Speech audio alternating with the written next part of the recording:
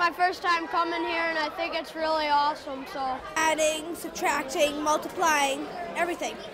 Did you have fun coming to Clarkson today? Yes. Why did you have fun? Well, me and my partner, we did um, letter spelling, and that was so fun.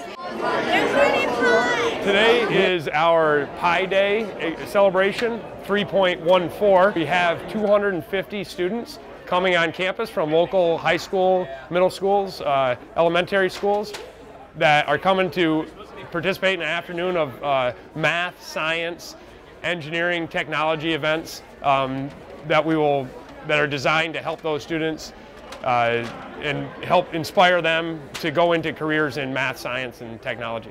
Ever since pi was discovered by the ancient Greeks in terms of finding out the circumference of a circle, each and every single day science is finding new places in nature where pi shows up, be it gravity, you know, believe it or not, you know, something as like as simple as gravity that we deal with every single day, you know, the, the equation that Newton came up with for gravity has pi right at the center of it.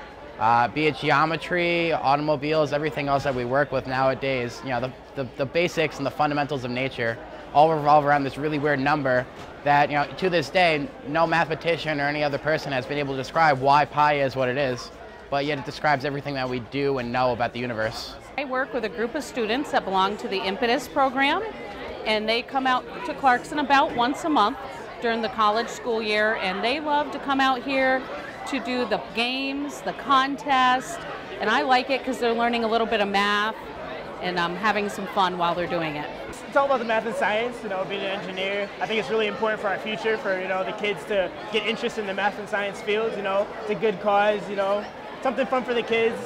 I actually like to go to college here and I make it there. They have uh, lots of cool stuff.